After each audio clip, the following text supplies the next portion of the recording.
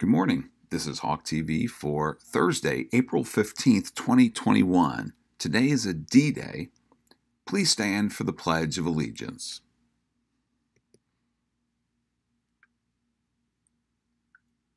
I pledge allegiance to the flag of the United States of America and to the Republic for which it stands, one nation, under God, indivisible, with liberty and justice for all.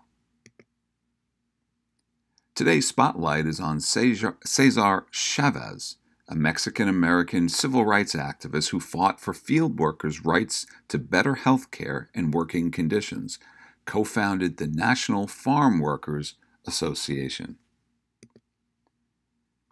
He put that Get More Math into practice for a friendly math night competition at Patton Middle School on Friday, April 23rd from 7 to 8.15 p.m. You can get the link on the announcements page. It's also on the website, and you received an email about it. Uh, you'll play math games like Jeopardy and Math Bingo and Kahoot and, and more. So uh, sign up today. We've got 44 people already signed up, so they're still looking for more.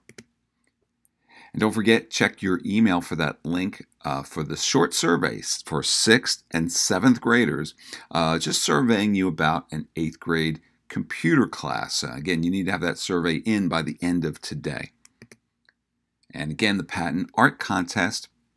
Make sure you enter. Mrs. Schultz explained it yesterday. If you need to look at that video again, just visit the announcements page and you can hear everything she had to say yesterday. And I bet you haven't ordered your yearbook right? I know you haven't. Get online, visit the Patton website, and order your yearbook by May 1st. And again, all these announcements, including the Hawk TV video from each day, is on the Patton website. So if you miss something, you miss a link, or how do I sign up for the math night, or where are those directions from uh, from Mrs. Schultz for the planner art contest, it's all on the announcements page where you can see the written announcements and you can rewatch every episode of Hawk TV. And happy birthday, April 15th, to Kayla Day, Sebastian Liberace, Elani uh, Lugo, and Morena Onishi. Happy birthday. That's all for today. We'll see you tomorrow for another Hawk TV. Have a great day.